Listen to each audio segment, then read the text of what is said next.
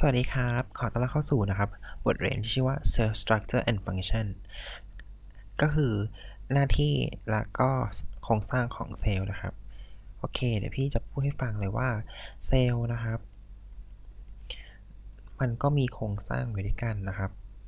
สองอันก็คืออันแรกเลยนะครับ ก็คือเป็นส่วนของนะครับ membrane นะครับ ที่ห่อหุ้มอ่า เซลล์ไว้นั่นเองนะครับนะครับ แล้วก็เป็นส่วนที่อีกอันหนึ่งก็คือส่วนที่เรียกว่าโปรโตพลาซึมนั่นเอง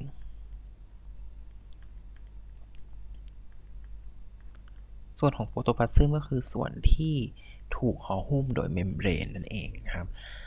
ซึ่ง membrane เนี่ยมันก็จะมีอยู่ด้วยกันนะครับสองอันก็คือนะครับ cell wall นั่นเอง cell wall ก็คือผนังเซลล์นะครับ แล้วก็ cell membrane หรือเยื่อหุ้มเซลล์นั่นเอง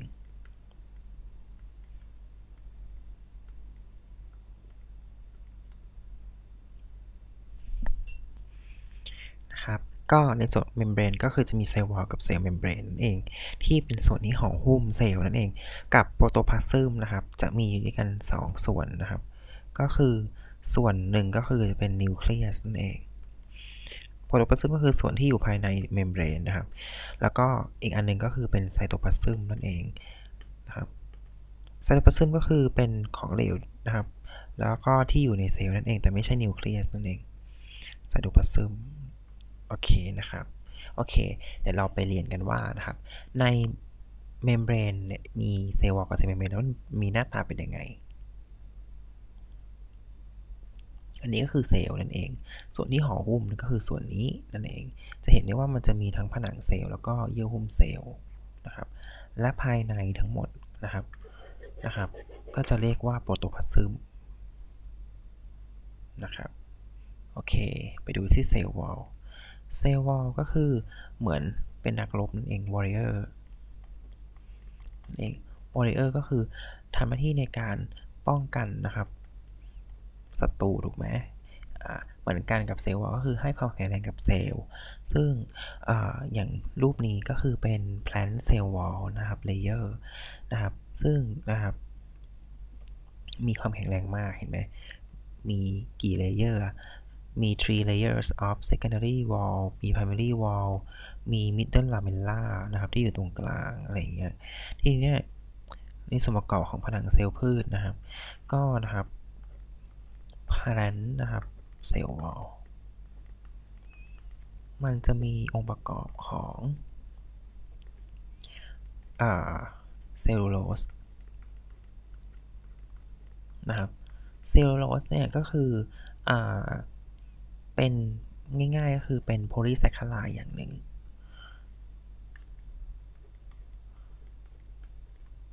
โพลีแซคคาไลคืออะไรคำว่า saccharide เนี่ยแปลว่า น้ำตาลนะครับ sugar เอง ส่วนคำว่า poly แปลว่ามากมาย ก็คือประกอบไปด้วยหน่วยย่อยของน้ำตาลเนี่ยแบบ many many เลยก็คือจริง ๆ แล้วหน่วยย่อยของของเซลลูโลสนะครับก็คือเบต้ากลูโคสนั่นเอง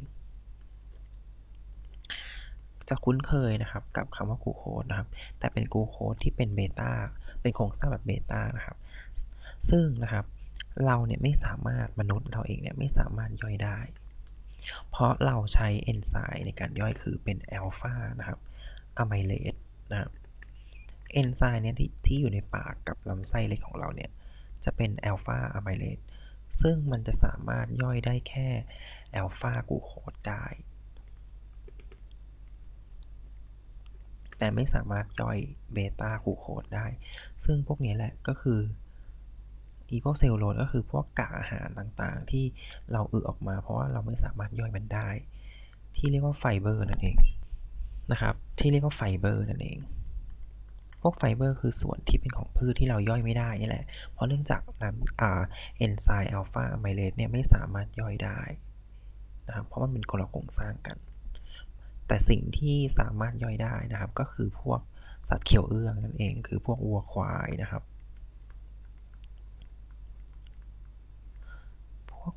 พวกวัวและควายเนี่ยเขากินหญ้าแล้วก็ย่อยได้ เนื่องจากเขามีนะครับเอนไซม์นะครับ ที่มีโครงสร้างเป็นเบต้าคือเขามีเบต้านะครับอ่าอะไมเลสอยู่ ซึ่งทำให้เขาเนี่ยสามารถย่อยได้นั่นเองนะครับ อันนี้ก็คือพูดถึง cell wall ของพืชนะครับที่เป็นนะครับ เซลลูโลสนะครับ เปลือกไม้อะไรอย่างเงี้ยต่างๆนะครับนั่นเอง ทีนี้เนี่ยเซลล์วอลเนี่ยก็ไม่ได้พบแค่ในพืชนะครับ ยังพบในสิ่งชีวิตตัวอื่นด้วย เช่นนะครับ เขาพบไคตินนะครับจากนะครับ exoskeleton of arthropod นะครับคำว่า arthropod เนี่ยมาจากคำว่า arthro นะครับ arthro เนี่ยที่แปลว่าปล้อง กับคำว่า pod pod เนี่ยนะครับ ที่แปลว่าเท้านะครับสิ่งมีชีวิตที่เป็นในจำพวกอะโทรพอดก็คือพวกที่มีลำตัวหรือเท้าที่เป็นข้อป้องนั่นเอง อย่างเช่นในรูปนี้ก็คือจะเป็นพวกแมลงนั่นเอง พวกแมลงก็จะมีนะครับโครงร่างแข็งนะครับ ที่ชื่อว่าไคตินนะครับเนี่ยอันนี้แต่อันนี้ก็รูป A เนี่ยจะเป็น โมโนเมอร์หรือโมเลกุลที่เล็กที่สุดของไคติน จะเห็นได้ว่ามันประกอบไปด้วยน้ำตาลนั่นเอง ที่ชื่อว่านะครับ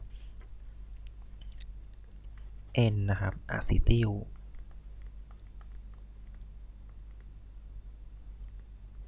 นะครับ N acetyl นะครับ glucosamine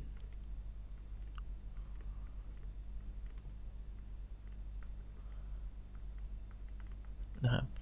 N acetylglucosamine เนี่ยคือโมโนเมอร์นะครับของไคตินนั่นเอง ซึ่งโมเลกุลของเขาก็จะเป็นอย่างนี้แหละนะครับ N acetylglucosamine เนี่ยอย่างเช่นอาหารเสริมกูโคซามิน เช่น นั่นแหละที่เอาไว้นะครับ คนแก่เขากินเพื่อรักษาข้อไขข้อที่ปวดนั่นเอง ซึ่งนะครับ N acetylglucosamine มันเป็นโครงร่างแข็งของพวกแมลงซึ่งมันก็เป็น cell wall ตัวหนึ่งที่ ในทางการแพทย์ก็เอาไปใช้ในการเย็บแผลอะไรก็ได้เพราะว่ามีความยืดหยุ่นแล้วก็มีความแข็งด้วยนะครับ อย่าลืมว่าเห็นไหมว่ามันเป็นคาร์โบไฮเดรตอีกแล้ว เพราะมันเป็นน้ำตาลนะครับ ที่ชื่อว่า N acetylglucosamine เป็น sugar ตัวหนึ่งนะครับ ต่อมามาดู cell wall ของอันนี้คือ cell wall ของแบคทีเรียนั่นเอง ที่เราเพิ่งไปเรียนเมื่อกี้นี้นะครับ gram positive bacteria เนี่ยนะครับ มันมีนะครับ ผนังเซลล์ที่ชื่อว่านะครับ peptidoglycan นั่นเองนะครับคำว่า peptidoglycan เนี่ยมาจากคำว่า peptido นะครับ peptido เนี่ยแปลว่าโปรตีน กับคำว่า glycan นะครับ ที่แปลว่าคาร์โบไฮเดรตนะครับ glycan หรือคาร์โบไฮเดรต แสดงว่านะครับมันมีสองสารสารสองสารที่อยู่ด้วยกัน แต่นะครับจำไว้ว่าในทาง Life Science เนี่ยตัวที่เป็นสารหลักเนี่ยจะอยู่ข้างหลังนะครับ เพราะว่าอังกฤษเนี่ยจะแปลจากหลังไปหน้าถูกไหมแต่สารรองเนี่ยจะอยู่ข้างหน้านะครับ แสดงว่าปพิโดไกแคนมีสารหลักก็คือเป็นคาร์โบไฮเดรตแล้วก็สารรองคือโปรตีนนั่นเองนะโอเค นะครับ อันนี้ก็จะจบเรื่องเซลล์วอลแล้วครับว่าตั้งแต่พืชนะครับ ไปถึงนะครับไคตินนั่นเองที่พบในแมลง จริง ๆ ในแมลงก็พบแล้วก็ในกุ้งก็พบนะครับ เปลือกกุ้งปู แม้กระทั่งเปลือกส้มก็ใช่ เปลือกส้ม ไม่ใช่เปลือกส้มนะครับ แต่เป็นไอ้ที่เป็นขาวๆที่อยู่ในส้มครับ ที่มันเป็นแบบเยื่อๆนั่นแหละก็คือไคตินนั่นเอง ต่อมาเนี่ยเรามาเรียนเรื่องนะครับเซลล์เมมเบรนนั่นเองนะครับcell membrane หรือ plasma membrane นะครับก็คือเยื่อหุ้มเซลล์นั่นเองนะครับ ซึ่งนะครับโครงสร้างหลักๆของเขาก็คือนะครับจะเป็นฟอสโฟลิพิดนั่นเองฟอสโฟลิพิดเนี่ยก็คือจะเป็นโมเลกุลที่เป็นเหมือนเห็นไหมนี่คือฟอสโฟลิพิดนี่อันนี้ ถ้าขยายออกมาเนี่ยพี่จะอธิบายว่าฟอสโฟลิพิดนะครับ คำว่าฟอสโฟก็บ่งบอกว่ามันมามาจากคำว่าฟอสเฟตนั่นเอง กับลิพิดที่แปลว่าไขมันนะครับนะครับ ซึ่งนะครับโครงสร้างของฟอสโฟลิพิดเนี่ย ก็จะเหมือนกับเป็นวงๆนะครับ ข้างบนนะครับ แล้วก็มีหางออกมานะครับ นะครับ ซึ่งโครงสร้างฟอสโฟลิพิดเนี่ยนะครับ ก็มันก็จะมีอยู่ 2 ส่วนคือส่วน ข้างล่างเนี่ยนะครับ มันจะเป็นส่วนที่เรียกว่านะครับhydro นะครับ phobic นะครับ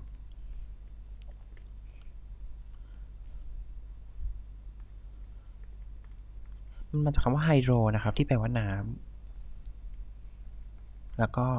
phobic นะครับ ที่แปลว่ากลัวนั่นเอง phobic phobia มันแปลว่ากลัวน้ำซึ่งการกลัวน้ำเนี่ย มันบ่งบอกว่ามันไม่มีขั้วนั่นเองนะครับ non-polar นั่นเอง มันเป็นพวกกรดไขมันนั่นเองนะครับ fatty acid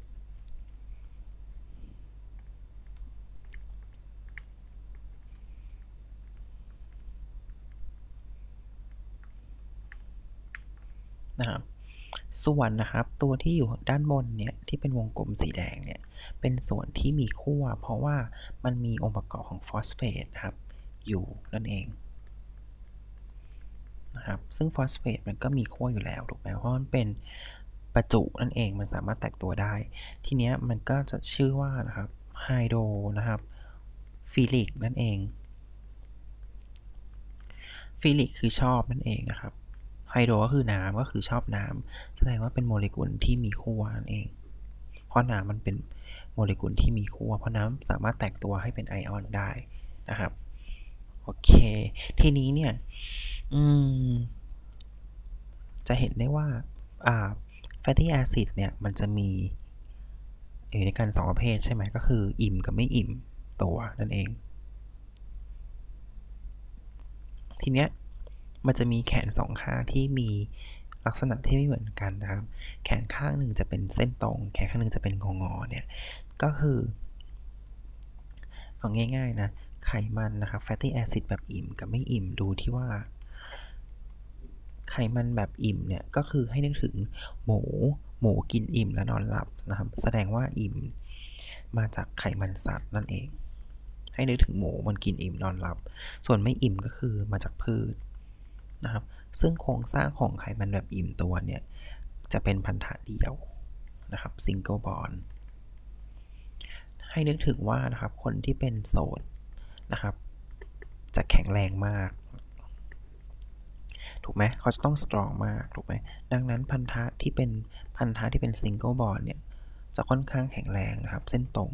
แต่เมื่อใดก็ตามที่เรามีคู่นะครับ เราจะอ่อนแอลงถูกไหมความรักทำให้เราอ่อนแอถูกไหมดังนั้นนะครับ จะเห็นได้ว่ามันมีการงอของโมเลกุล เพราะ double bond เนี่ยมันมีความอ่อนแอถูกไหมทำให้แขนมันงอ ซึ่งนะครับการกำจัดไขมัน ที่มาจากพืชเนี่ยจะง่ายกว่าสัตว์ เพราะว่ามันมีโครงสร้างที่ weak นั่นเอง เพราะมันเป็นdouble bond นั่นเองนะครับ โอเคนะ อันนี้คือพูดถึง fatty acid นะครับ ที่อิ่มและไม่อิ่ม อิ่มก็คือใช้คำว่านะครับ saturate saturate fatty acid นะครับคือแขนข้างนี้ ส่วนแขนข้างนี้คือไม่อิ่มนะครับ คือ un ก็เติม un เข้าไป แปลว่าไม่นั่นเองนะครับ และนะครับอีกทั้งนะครับโมเลกุลของฟอสโฟลิพิดเนี่ยมันจะจับตัวกันเป็น 2 ชั้นอย่างเงี้ยเป็น layer แบบเนี้ยที่เรียกที่เรียกว่านะครับ phospholipid นะครับ bilayer นั่นเอง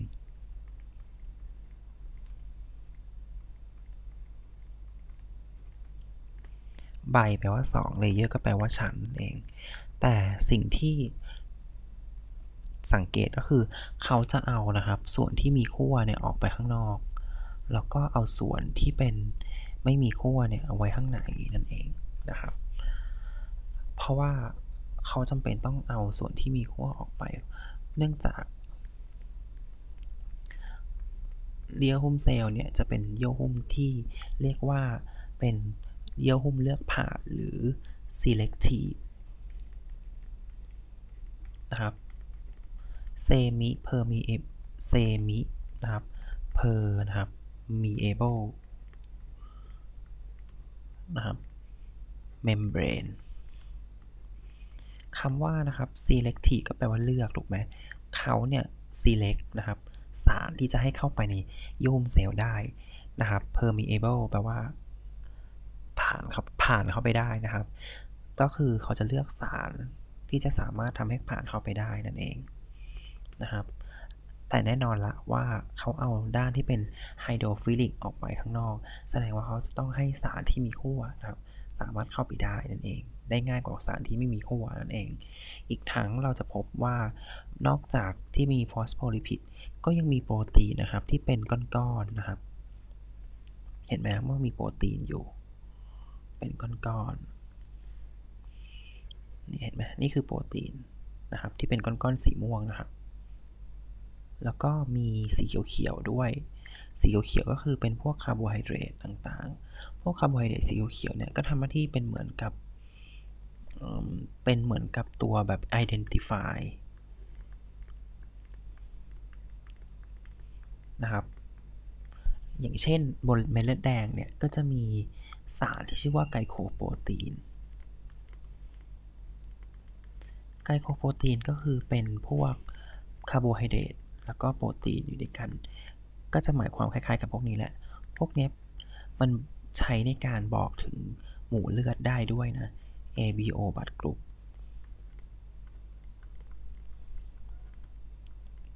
มันจะมี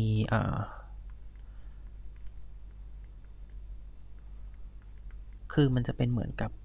ตัว identify ว่ามันคืออะไร เช่น ถ้ามีไกลโคโปรตีนชนิดนี้ ก็จะเป็นหมู่ A ถ้ามีไกลโคโปรตีนชนิดนี้ก็จะเป็นหมู่ B อะไรเงี้ย นั่นคือบอกถึง identify ของเซลล์ได้นะครับ อันนี้ก็จะเป็นเรื่องของ cell membrane นั่นเองนะครับครับ โอเค ทีเนี้ยเราก็เราก็ผ่านไปแล้วสองอันก็คือ cell membrane กับ cell wall กับ cell membrane ซึ่งเป็นส่วนของ membrane นั่นเองที่เราเรียนไป ทีนี้ต่อมาเนี่ยเราจะมาเรียนส่วนที่เป็น โปรโตพลาซึมบ้างอะว่ามันมีอะไรบ้าง แต่ที่แน่ๆมันแบ่งออกเป็น 2 อย่างคือนิวเคลียสกับไซโตพลาซึมแน่ๆเลยว่านิวเคลียสเนี่ยจะเราจะพบแค่นะครับในสิ่งมีชีวิตในยูคาริโอตเท่านั้นยูคาริโอต only นะครับหรือพวกที่มีวิวัฒนาการสูงแล้วนะครับ โอเค ต่อมานะครับ เดี๋ยวเรามาเรียนเรื่องนิวเคลียสนั่นเอง นิวเคลียสเนี่ยนะครับ ก็จะเป็นนะครับที่อาศัยของสารพันธุกรรมนั่นเองที่อยู่ในนี้นะครับ ซึ่งนะครับสารพันธุกรรมของเรานะครับ ที่เราใช้กันในยูคาริโอตก็คือ DNA นั่นเองนะครับ DNA เนี่ยจะอาศัยอยู่ในนิวเคลียสนั่นเองนะครับ ซึ่งนะครับอย่าลืมว่านิวเคลียสเนี่ยก็จะมี nuclear envelope นั่นเองก็คือ เยื่อหุ้มนิวเคลียสมันจะมีอยู่ 2 ชั้นก็คือ inner กับ outer นั่นเอง ซึ่งในนิวเคลียสเองก็จะมี nuclear pore นะครับซูมมานะครับ ก็จะเห็นว่า nuclear pore เนี่ย ก็จะเป็นแบบนี้เห็นไหมที่เอาไว้เคลื่อนย้ายสารในนิวเคลียสได้นั่นเองนะครับอันนี้ก็ซูมออกมาให้เห็นว่า surface of nuclear envelope นะครับ เป็นแบบนี้ เห็นไหมปื๊บ pore complex ก็จะเป็นรูแล้วก็ยังมี nuclear lamina ที่เกี่ยวข้องกับการแบ่งเซลล์นั่นเองครับ อันนี้คือ nuclear lamina นะโปรตีนนะครับสูออกมาปุ๊บ ทีนี้เนี่ย DNA นะครับคืออะไร โอเค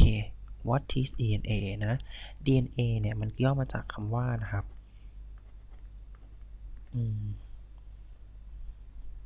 นะครับ DNA มันย่อมาจากคำว่านะครับ deoxy นะครับ ribonucleic acid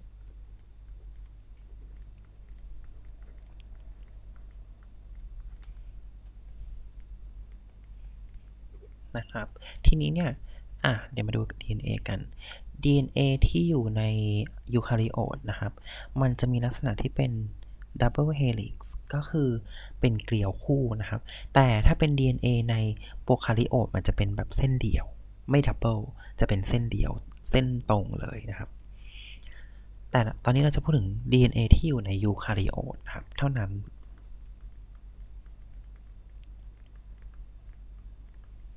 DNA ในยูคาริโอตเนี่ยจะเป็น double helix ก็คือเป็นเกลียวคู่แล้วเวียนขวานะครับ เป็นเกลียวคู่เวียนขวานี่จะเป็นซูมจากกล้องจุลทรรศน์อิเล็กตรอนนะครับ จะเห็นได้ว่าเป็นเกลียวคู่เวียนขวาแล้วก็ เป็นเห็นไหมเป็นเส้นตรงแบบนี้ทีเนี้ยพอซูมขึ้นซูมเข้าไปอีก อันนี้คือซูมเข้าไปอีกนะ จะเห็นได้ว่านะครับ สายของ DNA นะครับ มันจะ พันกับโปรตีนสีม่วงนะครับ ที่ชื่อว่านะครับ histone protein ซึ่ง histone protein เนี่ยจะมีประจุบวกนะครับ และเรารู้ว่า DNA จะมีประจุลบนะครับ จากการที่เราเอาไป run นะครับ ใน gel electrophoresis นะครับ DNA นะครับ เจลนะครับ electrophoresis แน่นอนต้องมีประจุเข้ามาเกี่ยวข้อง electrophoresisพบว่า DNA จะเคลื่อนที่เข้าหาประจุบวก แสดงให้เห็นว่า DNA เป็นประจุลบ อีกทั้งเรารู้ว่า histone protein เนี่ยเป็นประจุบวก มันก็เลยพันเกลียวกันกลายเป็น nucleosome nucleosome ก็เหมือนกับนะครับ วงกลมของ histone ถูกพันนะครับ โดยสายของ DNA นะครับ สุดท้ายมันก็จะกลายเป็นแท่งขึ้นมานะครับ ซึ่งเรียกว่าซึ่งเรียกว่าโครโมโซมนั่นเองนะครับ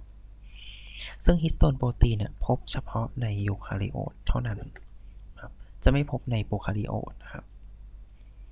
ทีนี้นะครับพอแขนของตัว nucleosome พันกันไปพันกันมานะครับ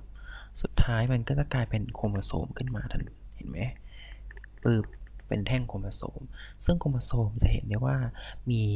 แขนสองข้างนะครับ แขนข้างหนึ่งเนี่ยเขาจะเรียกว่านะครับ chromatid นั่นเอง หรือ sister chromatid ทำไมถึงใช้คำว่า sister ไม่ใช้เป็น brother นะครับ เพราะว่าเขาให้ความสัมพันธ์กับเพศหญิงนะครับ เป็นอันดับแรกนั่นเองเลยใช้คำว่า sister นะครับ แล้วก็อีกทั้งนะครับ โครโมโซมเนี่ยยังศึกษาระยะ metaphase ด้วย metaphase เนี่ยเป็นระยะของการแบ่งเซลล์เอาเป็นว่าเราจะศึกษาว่าโครโมโซมเนี่ยในสิ่งมีชีวิตสปีชีส์เนี้ยมีกี่โครโมโซม อย่างมนุษย์ก็มี 46 เราศึกษาได้จากระยะ metaphase นะครับ เพราะว่า metaphase คือระยะนะครับง่ายๆ คือ meta ก็คือ middle นั่นเอง คือเป็นบริเวณที่โครโมโซมเนี่ยอยู่ตรงกลางเซลล์ ซึ่งสามารถเห็นได้ง่ายที่สุดนะครับ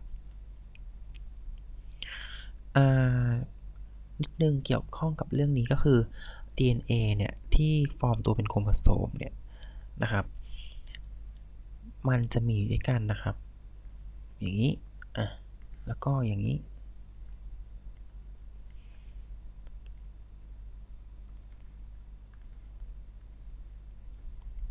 จะเห็นได้ว่านะครับแบบแรกเนี่ย มันจะมีอยู่แค่1 sister chromatid ก็คือ เขาจะนับว่าเป็น1โครโมโซมเหมือนกันนะครับ แต่มีแค่1นะครับ sister chromatid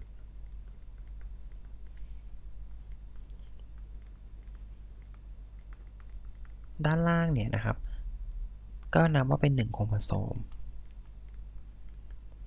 นะครับ แต่มันมีอยู่ 2 นะครับ sister chromatid เพราะคุณสมบัติของ DNA เนี่ยนะครับ มันสามารถที่จะเกิดนะครับ การเพิ่มจำนวนของ DNA ได้นะครับ การเพิ่มแขนของ sister chromatid ก็เหมือนการเพิ่ม DNA นั่นเอง อันนี้จะมี DNA นะครับ อยู่แค่ 1 เท่า แต่นี้จะมี 2 เท่านะครับ แขนของ sister chromatid ก็เพิ่มด้วยนะครับ มันเกิดจากกระบวนการที่ชื่อว่านะครับ ที่ชื่อว่าอะไรเอ่ยรู้ไหม ที่ชื่อว่านะครับ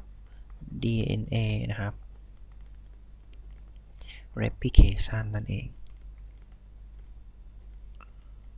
ก็คือการจำลองตัวของ DNA นั่นเองนะครับ DNA สามารถจำลองตัวเองเพิ่มขึ้นมาได้นะครับ จาก 1 เท่าให้เป็น 2 เท่านั่นเอง โอเคนะ โอเคนะครับ หลังจากที่เราไปเรียนเรื่องอ DNA ที่อยู่ในนิวเคลียสแล้วเนี่ย จริง ๆ แล้วนิวเคลียสนะครับ หน้าที่ของเขาเนี่ยก็คือเป็นหน้าที่ที่สำคัญมากคืออ control นะครับ ทุก ๆ อย่างในออคือ all activity ในเซลล์เลย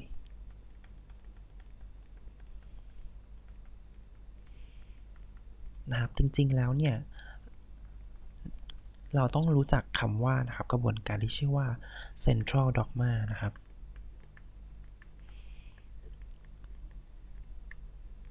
นะครับ Central Dogma คืออะไรนะครับ มันคือแผนภาพของเรื่องเซลล์นั่นเอง ทีนี้เนี่ย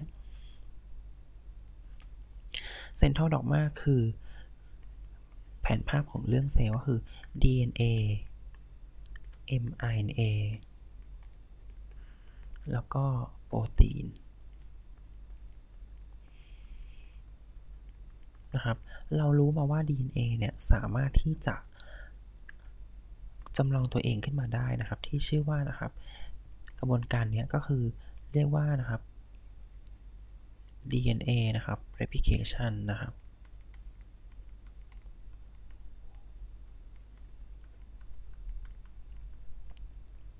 แล้วก็การที่ DNA เนี่ย ง่ายๆเลยการที่เรามีหน้าตาแบบนี้บล็อกหน้าแบบนี้ มาจากไหนก็ต้องมาจาก DNA ของพ่อแม่ถูกไหมที่ถูกที่ถูกถ่ายทอดมาให้เรา เพื่อมาสร้างเป็นโปรตีน โปรตีนก็คือเป็นบล็อกนะครับ เหมือนเป็นแบบรูปแบบนะครับของสิ่งมีชีวิตนะครับที่สร้างขึ้นมา เพราะว่าส่วนใหญ่แล้วเนี่ยร่างกายเราจะเป็นโปรตีนหมดเลยนะครับ กล้ามเนื้อหน้าตาเป็นอย่างนี้นะครับ มันถูกถ่ายทอดมาจาก DNA นั่นเอง DNA เนี่ยสุดท้ายมันจะถูกส่งมาเป็น mRNA mRNA คือ messenger เป็นเหมือนรหัสข้อความว่า เออต้องมีหน้าตาเป็นอย่างนี้บล็อกอย่างนี้นะ ซึ่งกระบวนการที่เปลี่ยนแปลง DNA ให้เป็น mRNA เนี่ย จะเรียกว่า transcription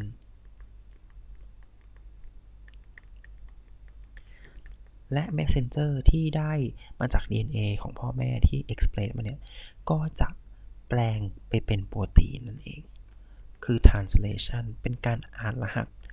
พันธุกรรมนั่นเอง ซึ่งโปรตีนนี่แหละก็คือเป็นร่างกายของเรา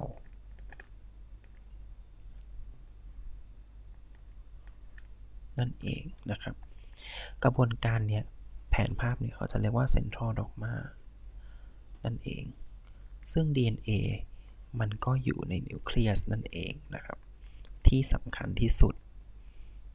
นั่นเองนะครับ เพราะนิวเคลียสนะครับทำงานนะครับในการ control all activity in cell นั่นเองนะครับ